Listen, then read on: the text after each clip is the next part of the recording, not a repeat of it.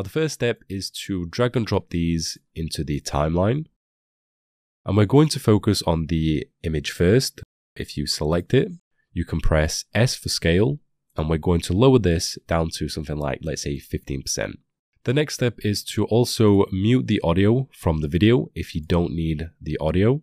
Now, in order to create the bass zoom effect, we need to first of all target the bass itself. And we can achieve this by going into the effects and presets. And if you search for a low space, and then you will see a high low pass effect. You want to drag and drop this onto your music. And this will allow us to change the filter to a low pass. And you want to set the frequency to a low number of, let's say, 101. You want to try and keep the number as low as possible, but you may need to experiment with this because every song will be different. If we listen to this, it should sound like it's coming from underwater or on the ground, and if it does, then that is perfect. That is exactly what we want it to sound like all we have to do is right click on the music, go up to keyframe assistant and convert audio to keyframes. This will give us a audio amplitude which we can move all the way to the bottom and we want to open this up, open up the effects and since we don't really need the left and right channel, we can just go ahead and delete these two. You then want to open up both of these channels and as you can see, you now have all of these keyframes plotted at the bottom. You can also preview this by clicking the graph view and then selecting the slider. And this will show you all of the low points and the peaks. Now, at the moment, nothing will happen. These are just the keyframes. So in order to link the video with the audio and make it reactive, we need to left click on the video and press S for scale hold Alt or Option key and then left click on the stopwatch to get ourselves an expression box down below. We're going to delete the current line and then you want to get the pick whip and drag this down to the slider. And this will link up the video with the audio amplitude and we can now left click off of this for the changes to apply. So as you can see at the moment we have the screen pumps However, they are really small. And the reason why this happens is because it will go from zero plus. In order to correct this, all we need to do is tell the expression by typing value plus in front of the temp. And this means it will go from 100 plus rather than from zero. Another expression that we can add is if we type in between the bracket and the semicolon, you can type in either a star sign or a slash sign. So let's say, for example, you wanted this to be really reactive. You can type in star and then 4, and this means times 4. If you wanted it less reactive, you can type in slash 4 or 5, and this means divide 5.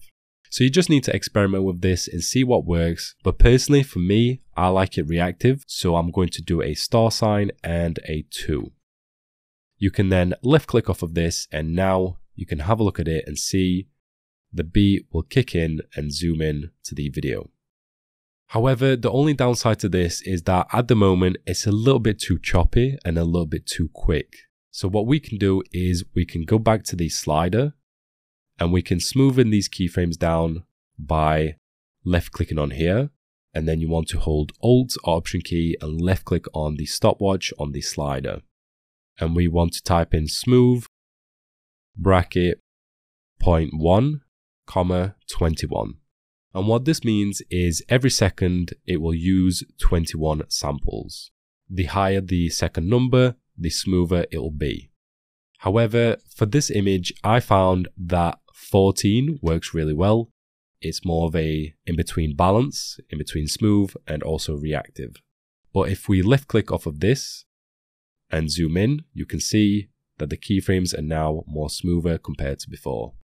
Now that we've got ourselves the effect, we can go back onto the music. And since we don't really need the high and low pass filter, we can just delete this and remove it from here. The next thing to do is to apply some of the effects. Starting off with the first one is going to be a simple black and white effect. So if you search in for a black space and then you'll see a black and white effect, you want to drag and drop this onto your video layer. And for this one, we're going to change the tint to a black color. The next effect that we're going to apply is a brightness and contrast. So if you're searching for brightness, you can get yourself a brightness and contrast underneath this effect. For this one, we're just going to set the contrast to somewhere around, let's say 50. If you wanted to, you can also get yourself a reactive brightness. Every time the beat kicks in, it will get brighter. And to do this, it's really simple. All we need to do is hold Alt or Option key and then left click on the stopwatch to get ourselves an expression once again. Now for this one, we want to left click on the brightness and we're going to type in 0 plus, which means it'll go from 0% plus and then drag the pick whip down to the slider. For this one, we're going to type in times 2, so it's actually very noticeable. And then we can left click off of this, and if we have a look at this now, you can see it gets brighter as the beat kicks in. Another cool effect that we can get ourselves is a flicker effect. Now this one is once again optional, but I personally think it looks really cool. So if you wanted to add it in, you want to right click in the empty area, go up to new, and then get yourself a solid. We're going to rename this to flicker. Make sure that it's the same width and height as your video and set it to a black color. We can then go ahead and press OK. And you want to make sure that this one is above all of your layers. In order to create the flicker effect, we want to press T on our keyboard and you want to hold Alt and left click on the stopwatch once again and we're going to type in wiggle bracket 15 comma 10. What this will do is it will make this layer randomly flicker through the percentage. So if you have a look at this, you can see the layer is flickering between 90 to 100. However, it's a little bit too aggressive at the moment. So to make this less aggressive, we can type in minus 90 at the end of it. And this will make it so it will only go from about zero up until about, let's say 25 and no more than that. So far, we've got ourselves a flicker effect, a brightness and contrast, and some other interesting effects. Now, the next one is to get ourselves a screen shake, and we're going to apply it onto the video first. And in order to do this, we want to search for a wiggle and you'll see a wiggle position. You want to drag and drop this onto your video layer and then we can minimize the flicker. And with this one, we only need the position. With the wiggle position, you will have the seconds and the amount. Once again, we're going to hold Alt, left click on the stopwatch, and we're going to start on the seconds first. With this one, we're going to type in 0 plus. You want to drag this down to the slider. And for this one, we're going to do divide 14.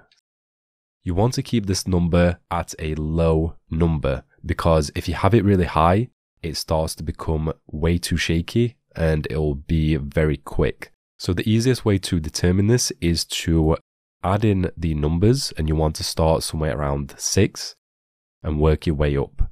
The higher the divide number, the lower the speed will be. Here's an example. If we apply this, you will see right now it's on zero. And as soon as it starts to kick in, once the P kicks in, it's only hitting 2.7. If we change this to a 6 and apply the changes, you can see it's now doubled in the speed. You want to keep this number anywhere between 1 to 3. Any higher than that, it's way too quick. For the amount, we want to hold Alt, left click on the stopwatch for this one, and for this one, we're just going to type in 0 plus, same as last time, drag this down to the slider, and for this one, we're just going to leave it as default. Now that we've got ourselves the wiggle effect on the video, we can now move on to the RGB split. To create the RGB split, we want to press Control or Command and D to get ourselves a copy of the video layer. You want to right click on this one and go to rename and we're going to call this R for the red channel. For this one, we want to first of all get ourselves a channel and then you'll see a channel mixer in the effects and presets and apply this onto your new video layer that you've just created. With this one, we also want to get rid of the brightness and contrast and also the black and white effect. On this one, we're going to focus on the red channel by removing the green. You can set this to zero and then set the blue on blue to zero as well. And this will give us a red channel. We also want to make this blend into the video and we can achieve this by toggling the modes at the bottom and set this to a lighten effect. And this will blend in with the video. Now at the moment, this will be visible throughout the whole video and that is what we don't want it to do. We only want it to appear once the beat kicks in and the peaks start to rise.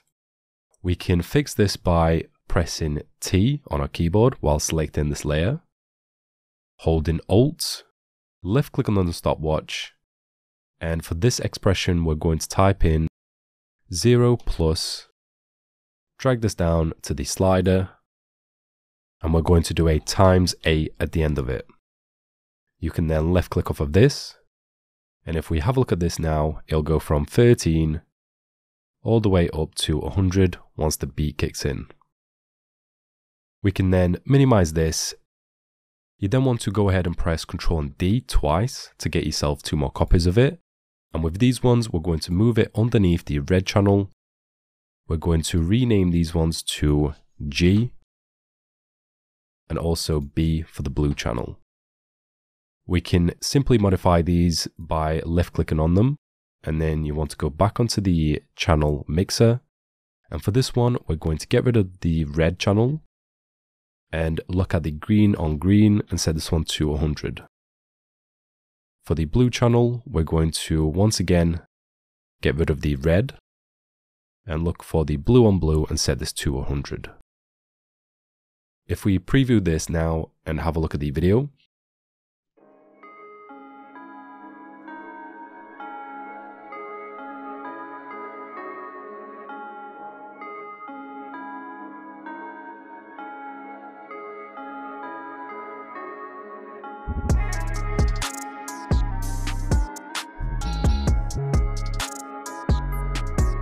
And that is pretty much it. That is how you create this audio spectrum, which has the bass zoom, RGB split, and screen shake effect.